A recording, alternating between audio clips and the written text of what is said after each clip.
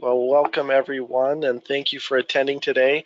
We are going to discuss how additive manufacturing has and will continue to be important in the future of automotive manufacturing. Uh, to start off with, I just want to share an experience I had a while ago. I started off my uh, 3D printing experience as a field technician. So I got to go out to all of our customers on a fairly regular basis, keep their machines running, talk to them about the, what they were doing. And I had one customer who made automotive engine parts, and they were always really fun to talk to but they were only using their really, really old Stratasys Dimension printer for prototyping. Well, one day I convinced them to talk to our applications and sales team and see some of the newer ideas at that time that were being used uh, with their 3D printers. So the team came out, they walked around, took a tour of their facility, and got to see everything they were doing, both with their printer and just in general in their facility. Well, as they're walking around the factory floor, they noticed these huge rows of robots, just pick and place robots. And they saw all of the tooling on the end of these arms, all the end effectors were metal. Well, this sparked off the idea for the sales team to suggest, hey, have you guys ever thought of 3D printing any of these? They looked at them like, you can do that? Well, yeah. So with a little bit of uh, guidance, they were they talked them through how to redesign some of these shapes for additive manufacturing. And they went from this design you see on the screen that is six different metal machined parts that took three weeks to uh, come full cycle and get back to them if they placed an order, whether something broke or they needed to make a design change. And it cost $1,000 to do each one. With that information, they redesigned the end effector to this design. And instead of taking three weeks, this part printed in eight and a half hours and only cost $80.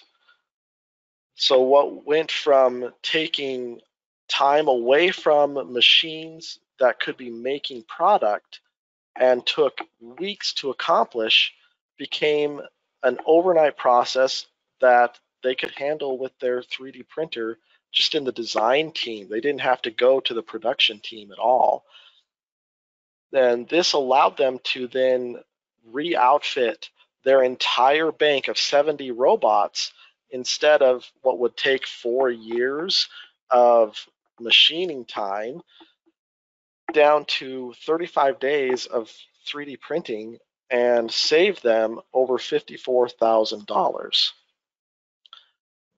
So this really made a big difference to them and they saw the benefits of this really quickly. And I still remember seeing when my team pulled this part off of our printer and were able to realize the new use for their printer that they'd just been doing prototypes before. And it was so mind blowing to them that they totally justified buying a bigger printer just to do this project. It was such a fun project to see. Anyway, I'm Joseph uh, an application engineer out of the Atlanta, Georgia area. I've been working with Stratasys 3D printers now for 14 years, going from uh, field service now into application engineering, and I just love it. Uh, when I'm not 3D printing, I'm painting little miniatures or reading or hanging out with my family. And I'd like to introduce Jonathan, my wonderful co-host. Hey everybody, uh, again, welcome to our webinar. My name is Jonathan. I am also an application engineer on the additive manufacturing team at GoEngineer. I've been working with Stratasys printers for about six years now, and I'm actually out of the Ambler, Pennsylvania office. Um, when I am not watching Eagles games, I tend to also watch the Sixers lose some games. I'm an avid gamer, uh, and it's been a blast uh, being on the application engineering team, as Joseph had mentioned. I also want to introduce Fadi from Stratasys. He was kind enough to join us. Uh, huge shout out to him. He's the global director of transportation at Stratasys. I know Fadi likes to say if uh, if it has any wheels and it's not flying, that's his purview. Do you want to say anything, Fadi? yeah, no, thanks, John. Uh, thanks, Joseph, for including me. I'm happy to be around, look at these wonderful applications, and certainly answer any questions from anyone in the chat. Uh, just a little bit about myself. I've been uh, at Stratasys for 13 years. Um, have been mostly focused on automotive uh, in my various roles from engineering to sales. Used to work at a tier one supplier prior to that um, in automotive. Um, so a lot of experience around the automotive and additive space, and I'm happy to see what you guys are doing here today and participate in any way I can. Thanks for inviting me. Absolutely. All right, Joseph, next slide. So who are we at Go Engineer? Well, Go Engineer delivers software, technology, and expertise that enable companies to unlock design innovation. We've been in the industry for more than 35 years with thousands of customers, especially with a focus on uh, automotive for this presentation. Uh, but just want to highlight, we have a YouTube channel if you want to hear any more about these products, self-paced uh, training, and our online customer portal. So we have over 60 offices nationwide. Uh, this is something that's going to be weaved through this presentation. If you reach out to us, you're always going to have somebody nearby you and uh, tons of experience, a wealth of knowledge. So really great team that we have and, and a great team that we want to use to, to help you out. We have over 200 technical resources that are fully certified in SolidWorks and Stratasys. So our purpose for this presentation and just in general is to empower the creation of today's products and tomorrow's innovations. And again, that's going to be weaved through this presentation and through everything that we do. Who is Stratasys? I'm going to try to do my best on this one. Uh, so they've also been in the industry over 30 years, trusted by many top automotive manufacturers, and not only just top automotive uh, manufacturers like your Fords, but also smaller companies. They're regularly innovating, regularly pushing what's possible. And then one thing I wanted to highlight for this presentation is it's not just fused deposition or extrusion, extrusion printing anymore. Stratasys uh, was most known for PolyJet and their fused deposition modeling or extrusion printing with their PolyJet lineup and their FDM, the F123 series, the Fortus 450, etc. But now also uh, a new range of technologies that are being incorporated. So stereolithography with the Neo products, the H350 powder bed system, SAF, uh, and P3. So many different applications, many different use cases, but just think there's something for everybody. Uh, there's the prototyping, there's the end use parts, there's small production runs, even uh, teetering towards the medium sized production runs. And then, of course, a broad material uh, lineup for many of these products. So reach out to us, let us know if you have a certain project, and we'll be able to help you find something in order to know where we're going in automotive, we have to talk a bit about where we have been and, and, where we've seen our successes. So the success number one that I wanted to highlight was general tooling. Joseph started with a great story about a customer that he was working with as a field service uh, tech, and then also with the sales team, et cetera, about these end of arm tools. So you have a lot of design flexibility with additive manufacturing. You have many material options, like I've mentioned, especially with some of the composites that are starting to be rolled out. So you can really optimize your designs, reduce weight, and save on cost and time in the long run the first customer I wanted to start with and highlight was Rutland Plastics. Uh, they have this end of arm tool. They were bulky tools. They had a lengthy post processing time for each part and they had really complex geometries. And so what they saw with additive manufacturing was uh, in addition to being able to print some complex geometries and simplify their parts there were also composite materials that were starting to be rolled out that really uh, made a good substitute for the metals that they were using. And they found cost reduction with that similarly in addition to uh, the weight savings so as an avid BMW fan, this one I really, really enjoy. Their direct digital manufacturing uh, team had this assembly tool. They had challenges with the handling and ergonomics of it. It was a heavier part. The lead times to make it held them back a bit. And then of course, weight. So what they found with additive manufacturing was that they were able to 3D print these assembly tools. Some of these composite materials were strong enough to be a good analogous uh, material and then they were able to simplify the design, reduce the weight, and also design it for the user. So you could have custom tools that really felt uh, fit the user a lot better than just making one part for everybody. And then on the bottom, you can see that they were able to reduce the lead times by about 16 days and the cost savings about $244 per part. One of the ones that people have done with the soluble supports on FDM, and then also, of course, some of the newer materials that you can use for sacrificial tooling, being able to create complex or hollow structures that can be dissolved, can be burned out, easily removable, and they're durable. Some of these materials can be autoclaved. Down here, you can see some photos of a carbon fiber layup. So you can create some really complex geometries for your parts that are a little bit more difficult to create typical molds for. So here's an actual application of that. This is Wolfpack Motorsports. It's a competition team. They were struggling with having enough design iterations to get the perfect part for them and for their race car. They had trouble with lead times, and both of those combined with tight competition deadlines meant that they could only get a few of these out each time, each design cycle before the competition. So they were really looking for a solution to have more iterations to test more designs and get something that better suited their application. And what they found was they were actually able to create these soluble molds that could be dissolved out after they created their layups. They had greater design freedom and they were actually able to have about 16 times more design iterations uh, according to their estimates. So really huge savings for them, especially when you're talking about tight competition deadlines, getting to market quicker. So like Joseph, I also have a, a personal project that uh, has had a big impact on me lately.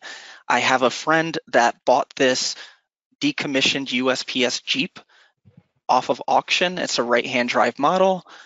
It's, I think uh, the VIN number is a 2008 model, but again, decommissioned. And this AC vent cover that they had is completely destroyed.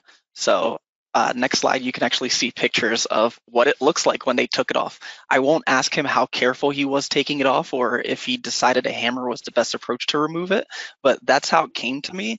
And with a bit of coffee, some late nights, I was able to 3D scan, reverse engineer this, and actually 3D printed on the Stratasys H350. I haven't been able to mount it on the car yet. I'm excited to try it. This is the gray that it looks like coming off the printer, but we have some dyeing options. And so one of the other successes was Joseph alluded to thinking about 3D printing as just for functional prototypes or prototyping. But now we have the materials, the accuracy, the, the durability of parts to have some end used parts. Uh, so specifically, I'm hoping that this AC vent cover works great for him. Again, hoping to put some primer on it, paint it, and see if we can get it mounted on the truck. And then maybe, just maybe, he'll let me borrow it. And then that's up to you, Joseph. All right, thank you, Jonathan. That was great. Now, those are some of our our uh, the things Stratasys printers have been used for in the past, and very successfully, done very, very well. And I like to look towards the future, and so does the Center for Automotive Research. They have said, given its advantages, and the continuous improvements made in the industry, additive manufacturing is expected to become increasingly relevant in transforming the automotive industry's production processes and products. So even uh, research groups are seeing this potential.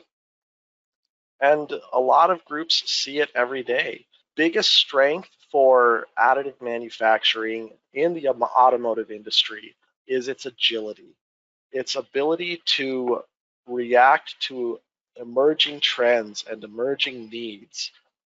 It's a very versatile tool with very uh, with a wide range of materials that can address some of the future needs, even questions and problems we haven't come come across yet.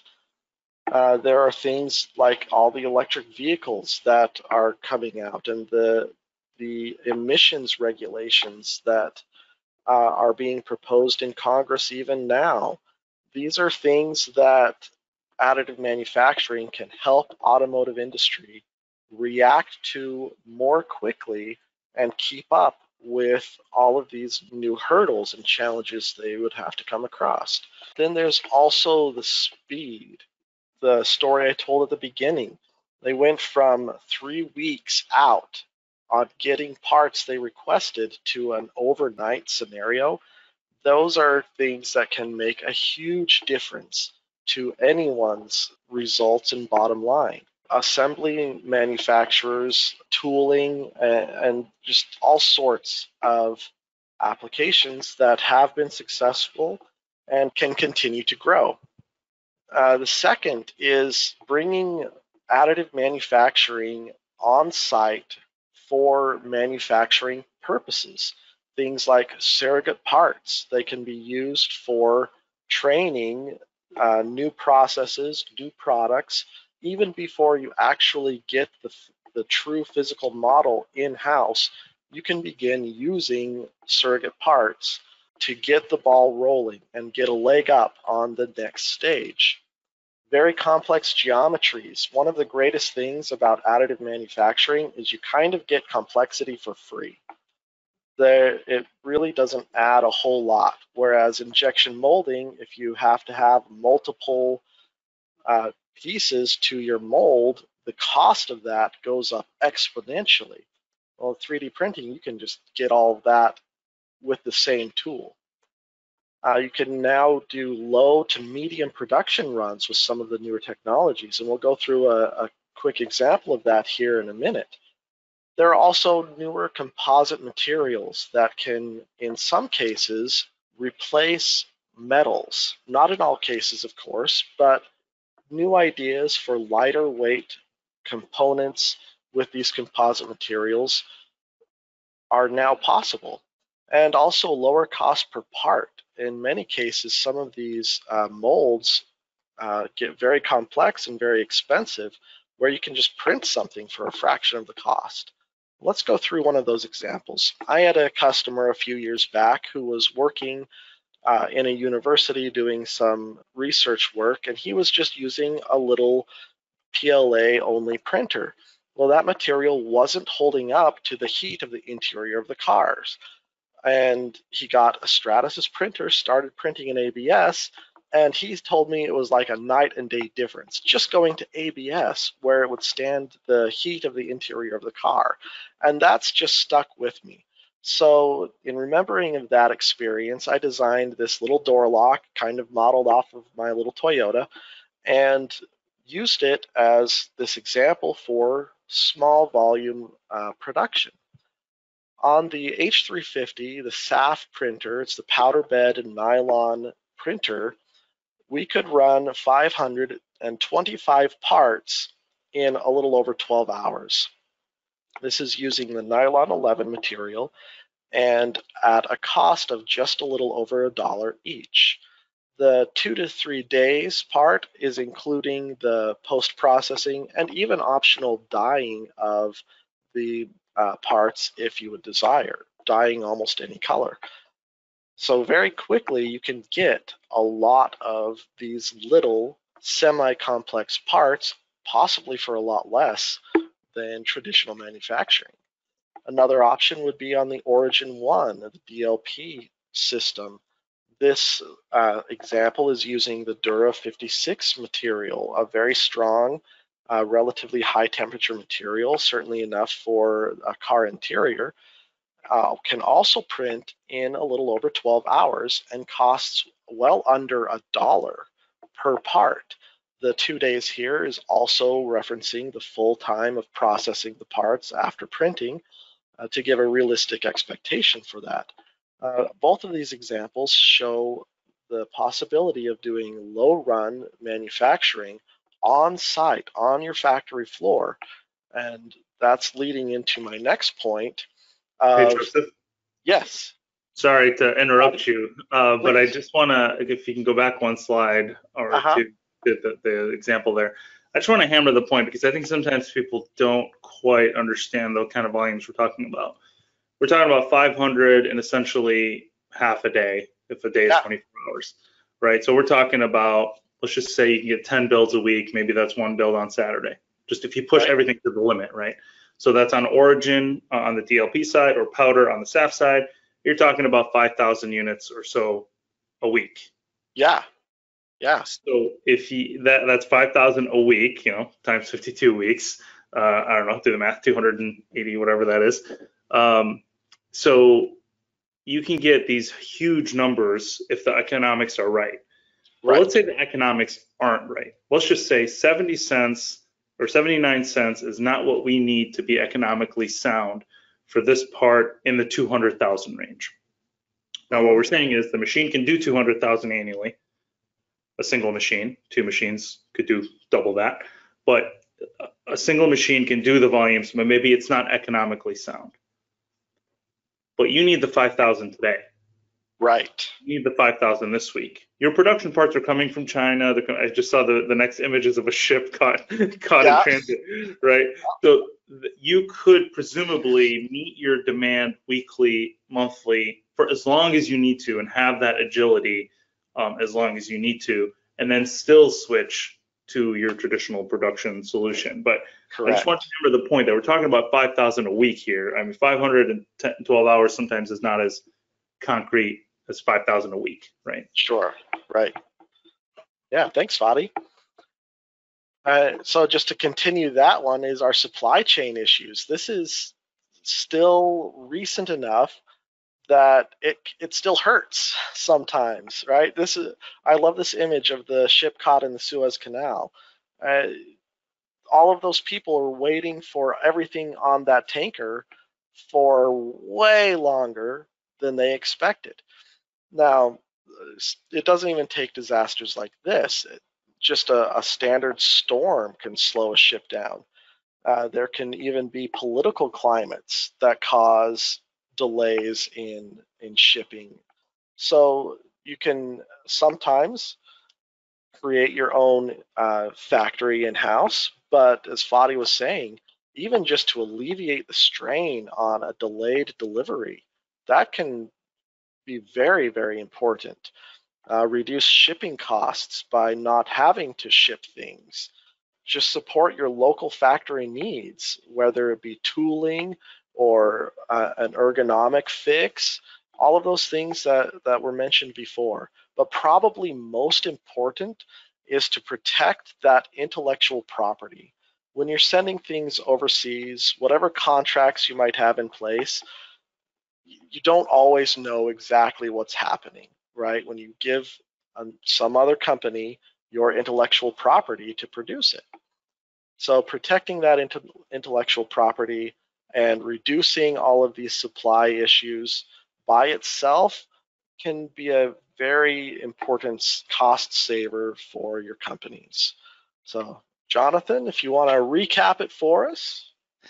Absolutely. Uh, so to Fadi's point and to what Joseph had mentioned, additive manufacturing as a supplementary tool, so not replacing traditional manufacturing, but working hand in hand, can give you the ability to react quickly and also insulate you a bit to some of those disruptions. Uh, everybody experienced a lot of the disruptions with the weather conditions lately and the different things going on. So giving some insulation where you can pivot either way, whether it's a situation where you have to machine a part because that's what's available in your shop, or you have to 3D print it because you're waiting for an injection mold from another shop or, or whatever it may be. So as a supplementary tool, it can give you the ability to react quickly and insulate you a bit towards design changes and disruptions.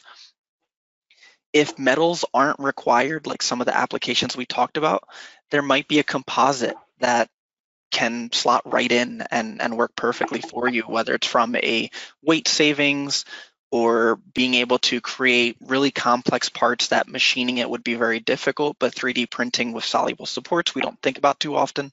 So those are different options for you.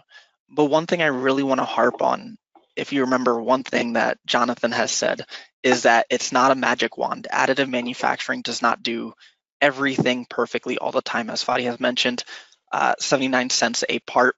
Doesn't look great economically if you're talking tens of thousands of parts but if you need to get by with 500 or 5000 for the week or whatever it may be until your mold comes in or however you were planning the process in the beginning then that may be a solution for you. It gives you that flexibility.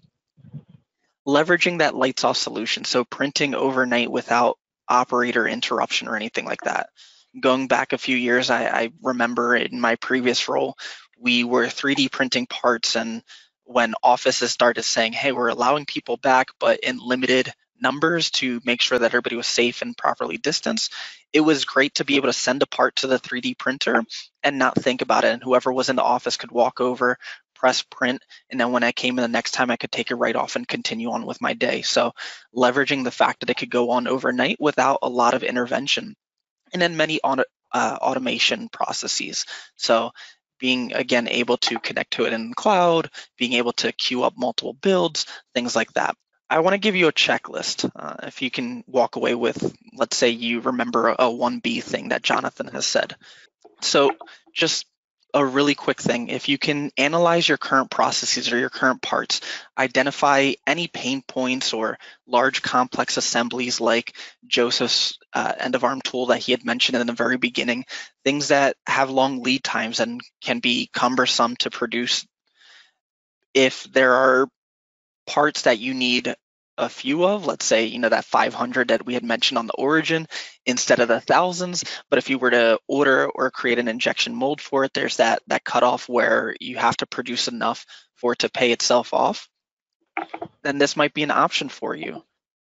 Validate the technology. So again, it's not a one size fits all. One technology is going to do something better than other technologies, and they're not going to solve all of the issues. But if there is a problem part that you could think of and we can come up with a technology that might solve it and a material that might solve it and a throughput that makes sense, then this may be a good option for you. And then ultimately, from a business standpoint, is it validated? Is it saving you enough time? Is it saving you enough money? Is it offering enough of a disruption proof that you say, we really need this in our shop? Especially from an operator perspective is it is it justifiable to you that you have this additional product that can assist with your current workflow just to expand everything I said in a screenshotable image uh, that I am also willing to share, this might give you something to think about. If you want to take a moment to screenshot this, if you want to say anything in the question section about it, whatever it may be. Again, I just tried to put something together that was straightforward, clear, and concise that you can maybe take away with you, think about, and say, you know what, maybe there is that that part that for one reason or another makes sense and we should explore. I mentioned very quickly in the beginning, we've been in the industry for over 30 years. Stratasys has been in the industry over 30 years. We have application engineers all along, uh, all the way across the country, you know, 8 a.m. to 8 p.m., tons of experience. So if you could go back to your shop and just do this part, if you could analyze your current process, identify one part that is causing you trouble or one process that is causing you trouble, then reach out and we can help you with the rest of the process. That's what we're here for. We want to be partners with your company. So this is a very, again, snippet of the checklist that if you find that one part or that one process that is causing you headache, reach out and we can see how we can help you. All right, Joseph, you're up. Thank you, Jonathan. So just to tie this all back together, we would love for you to be our next amazing story that we can share with with others. Um, how my my customer friends here went from three weeks of lead time and a thousand dollars just to change out one robot down to being able to change all 70 out in less than a month. And for a fraction of that cost we would love for you to be these next stories. So as jonathan invited you i want to invite again think about your processes. Is there something different that can be done? And reach out to us at Go Engineer. We'd love to help you develop this application and get you this type of success. All right, we'd love to open it up to any questions you may have. I see one that includes some math. Oh boy, wow, 5,000 a week, that's 260,000 a year. So talking about the not magic wand, if you're doing 260,000 a year, you need it. We we should definitely explore different options. Uh, but yes, you could have that throughput if if you just decided, hey, we want to 3D print these. I am excited to receive that AC vent cover for from the H350. It's in the mail right now. UPS is great about telling me by end of day, and they do it right at the end of the day. So I still have about another hour on the East Coast before I get to see them in person. But parts coming off the H350 are absolutely incredible. Any questions from our customers? Anybody joining us want to comment, anything like that? Fadi, what did you think? Did we miss anything? no, I think it all makes sense. Um, you guys do a great job as always. Um, you know, as Stratasys, we work through a distributorship model. Uh, companies like Go Engineer are our boots on the ground. They're the ones connecting with you customers and engaging with you on these exact applications, uh, giving us feedback, getting us involved when it makes sense. Um, so it's a really good partnership, and obviously you guys uh, you guys know where our technology fits, and that's why you're repping it, which you know we obviously appreciate. Um, I will say the one thing that sometimes it can get a little confusing is the tooling, is it this, is it that? 3D printing and automotive fits in three categories: product development, production supports, which is I think some of the tooling examples you saw, like how, what the, the story that Joseph started with, that's production support. You're supporting the production of the vehicle. Uh, and then of course production. So those are the three columns in which you're typically thinking, am I developing a product? Is this a prototype? Is this a product development need? Is it a tooling need um, or a product production support need? Um, or is it a production part? Those are kind of the three categories. I would just urge you to at least whittle yourself down as you're thinking through how I'm going to implement additive. In some small shops, it's all three. Hey, I need a prototype. Hey, I need a jig. Hey, I need a part. Um, that all makes sense. Um, uh, but for the most part, uh, you want to figure out how you're going to justify this equipment, how you're going to bring it in, what's the business case. Um, you know, we play on the industrial space. We don't, we're not a hobby level type company. Uh, we we want you to buy industrial equipment. You wouldn't buy um, a Dremel to create a CNC part. You would use a CNC to make a CNC part. Um, so we are in the industrial space. We're not in the hobby level space. Uh, and sometimes it requires justification, understand the applications, figuring out where you fit in those three categories. Absolutely, very well said. Uh, so one question that came in was actually, what role does material science play in additive manufacturing for automotive applications? And then a second part to it, are there any specific materials that are well suited for additive manufacturing in this context, automotive? So um, it is a long answer, but I will just boil it down to the to the nitty gritty, and then we can of course take it offline. Mm-hmm. Now, if you think of my three pillars or categories in product development, material is not that critical. It's like it's got a short life. I need to print it, look at it, make sure my design was good, maybe put it on the car. Uh, is there a you know, is there a design crash that I didn't see in data? Is it going to perform in the wind tunnel model? Okay, the wind tunnel model's done. Throw this thing in the trash. So it's a it's a short life cycle in the product development side. So material is not super critical. Um, it can be uh, stiffness, color, those kinds of things, but they're traditionally not super critical. Um, for the tooling bucket, what's incredibly critical there is stiffness, and I think you alluded to this, uh, John. Um, you want something that has a high stiffness to weight ratio.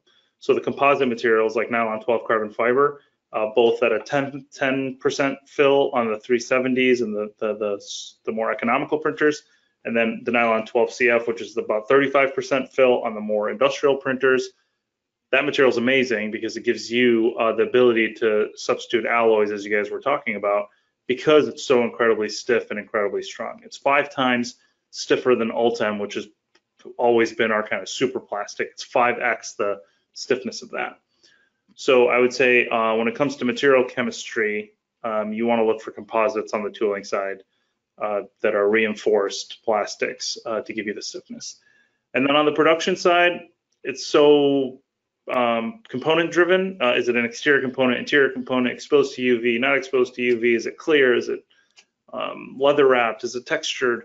There's a lot of uh, different requirements, but um, we are constantly uh, in development for those kind of production applications. So um, the heat vent that you, um, uh, uh, the AC vent that you talk about, um, that is a nylon 11 material. That is a true production nylon, so it's going to perform the same way that an automotive um, injection molded nylon is going to perform for the most part. And then um, in certain things where uh, UV exposure is a concern, and we're talking about a UV exposed material that comes out of a resin based system, we actually have new materials coming out all the time that are more UV resistant, more uh, have, have all this aging testing behind it. Um, on the thermoset side, on the thermoplastic side, those materials are already inherently uh, UV stable and strong and all that. Yeah, great summary of it. I, I will also add um, one of the materials I alluded to are the soluble materials. Specifically, the example I used was QSR. Uh, it's one of the uh, dissolvable support materials that we use, but there's other materials that are specifically tailored towards autoclaving, so using for carbon fiber layups. So it has to be able to withstand the temperature, the pressure, etc. So there's a material tailored to that. Uh, there are materials that are tailored towards wind tunnel testing. So we're, as Fadi had mentioned, there's a ton of them, too many to go through in this context, but certainly if there's an application you have in mind, reach out and we can uh, answer that more appropriately for you. And there's a ton of material science that goes into it. So we have a, a lot of uh, different people that are are seeing applications and saying how do we create a material for this specific thing and then that's what we make sure that the customers learn about We're, we're almost always working backwards from your application or your uh, pain points. Um, if you're listening to this or watching this later, we're working from your pain points in your application. Um, because the, the choices start to get overwhelming if you just want to know everything that everybody can do. Um, I mean, sort of like walking into an airport and saying, show me every flight out of Detroit. You would not do that. You'd say, okay, I'm trying to get to Minneapolis. What are my best ways to get from Detroit to Minneapolis? Oh, I got to connect to Chicago or I can take a direct flight or whatever. Uh, and, and you'll see those options. Um, so don't, um, you know, to do your best to figure out where, where it is um, that you want to play, which I think was one of the, the brilliant slides that uh, Jonathan showed.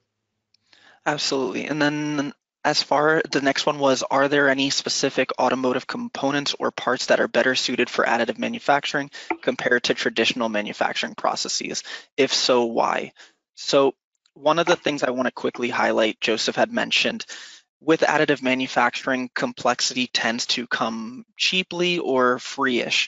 And what I mean by that is with the soluble supports, I can create some really weird channels that machining would be very difficult or injection molding would be very difficult because of undercuts or, or different complexities. So complexity comes very cheaply. Um, if it's low to medium volumes, that tends to work well also. Like Fadi mentioned, at 79 cents a part. If you're talking 5,000, you're like, I, I've gotten through that pain point. I've made it through the work week. We've gotten those parts out. But if you're talking tens of thousands, hundreds of thousands, then it becomes a, a more difficult challenge. And I actually, I'm going to cheat a little bit. I had this question for Fadi, but if Joseph, you can switch to the next slide. So this is specifically one that is like that. Uh, they had a last minute design change. This is Roush Performance, so we're not talking hundreds of thousands of cars.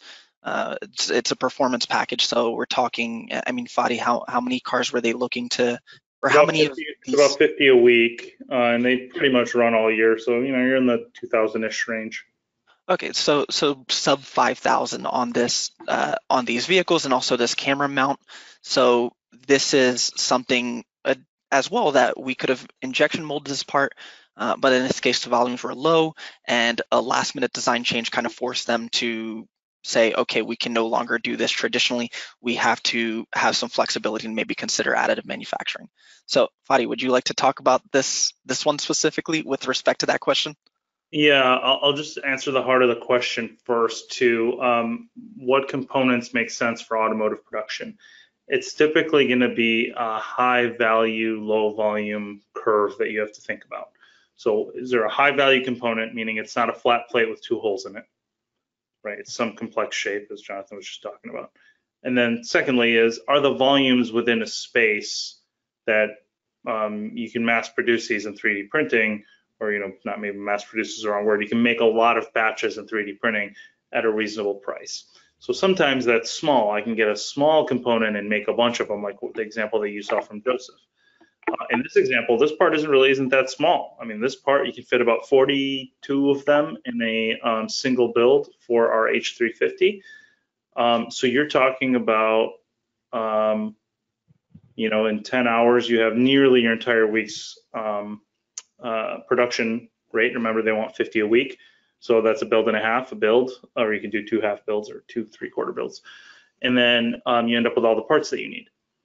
So in this case, it was all about the time needed and the fact that the cost was not more than injection molding.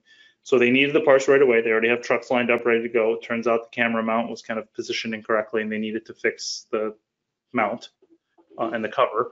And so they did that in 3D printing to test it. And then they were like, hey, is this stuff strong enough to, to do? So they did durability testing. They did a PPAP with us. Um, we went through all the production kind of standards that we would need to go through. They did the math. And they said, yeah, you know what? It would take us a couple of years before it makes sense for the injection, the cost of the initial tool, the initial injection mold. So why aren't why aren't we switched to this? And in a couple of years, we're likely going to have design changes to this, or it's going to be a completely different grill.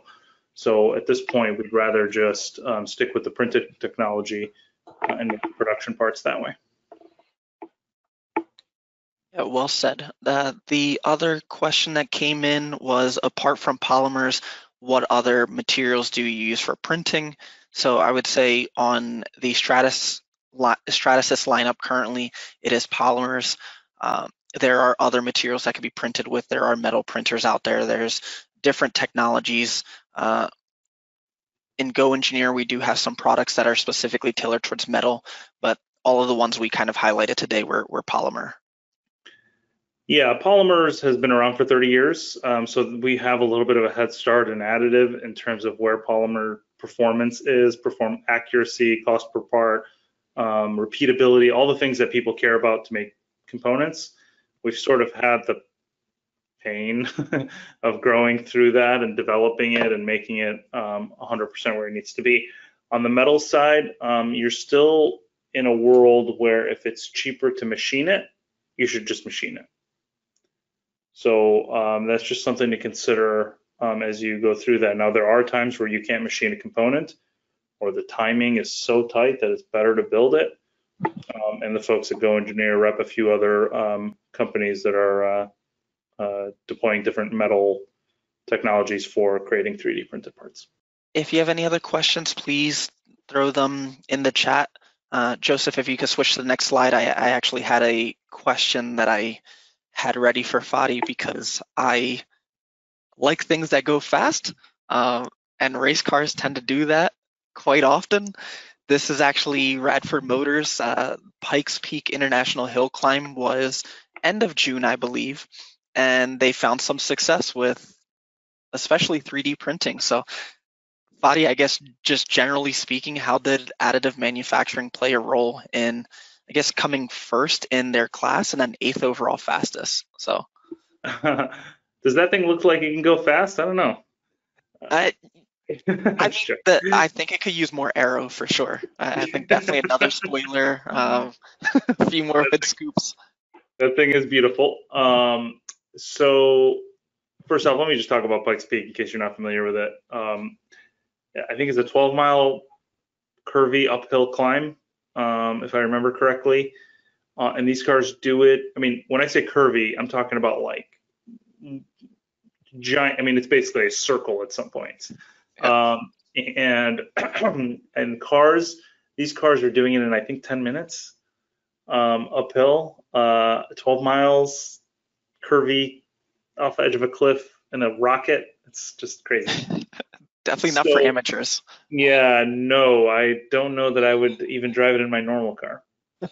so, um, look, uh, we have a relationship with this company, Radford Motors. Um, what they did about, uh, I think maybe just before the pandemic started in, in late 2019, they started building um, these custom kind of Lotuses. They got the rights to build Lotuses, and they were going to make 62 limited run Lotuses um, that were just you know consumer products that a consumer anybody who has that much money can go buy one. Um, and they made 62 of them. Uh, they leveraged 3D printing. There's a great video out there. Um, if you type in Radford and Stratasys, you'll see the video of kind of how we came together on this on the short run vehicle project. There was about 200 printed parts on the cars um, really custom stuff, really complicated stuff. They leather wrapped a lot of the 3D prints. They didn't even have to do any finishing, like just print, leather wrap, put it on the car. Uh, really beautiful, beautiful stuff. Um, and so we have a relationship with them, and they decided to create a version of this supercar that they were making that was specifically designed for um, this um, uh, this particular uh, race. And so the cool thing about it is that we basically took a custom high-end vehicle that had a bunch of our parts on it and then customized it even further. And of course, that required more 3D printing um, solutions and ducting and um, and elements, weight, uh, you know, uh, lightening the weight in certain areas, creating lattice structures, creating ducts, um, taking things out, putting things in. So we already had an established relationship with them and, and they used us. I think this particular car ended up with 70 more 3D printed parts on it than the original car, um, and including some stuff that isn't on the car that was used to produce the vehicle, um, like carbon fiber and layup tools, some of the sacrificial tooling stuff that you showed earlier as well. Yeah, I mean, if if I had enough money to buy this, for sure, I think I got to go to the grocery store in it. Definitely, at least once. Just Yeah. yeah. Yeah, I think I'd find somewhere a little bit cooler than the grocery store to go. I'm just just advice. Once once you get the money, Well, I think trying to find out where to store your groceries in this uh, would be like the best part. You're just in the parking lot, just trying to fit it in there. it'll be in your lap. Yeah, I, I think the the dramatic is always the most fun for me. so it looks like we don't have any other questions. Uh, if you have anything, please let us know right now, or certainly reach out to us. Uh, also, Joseph is going to kind of close us out, and I don't have any more questions for you, Fadi. I don't know uh, i- if anybody else wanted to say something, Joseph. If you had any questions. I'll I just think we that- covered it. Yeah, Body. Uh, yeah, I'll just say that, you know, Stratasys and GoEngineer are here to help. Uh, uh, you know, you'll have the contact information from the webinar and all that for the folks at GoEngineer, and and uh, you can always reach out to me directly and uh, find me on LinkedIn or wherever. So happy to help and talk talk automotive and talk additive anytime. Very good. Well, thank you all for participating and watching today, and Fadi for joining us, of course. And please reach out to us at GoEngineer with any questions you may have. Have a good day. All right, thank you, everyone.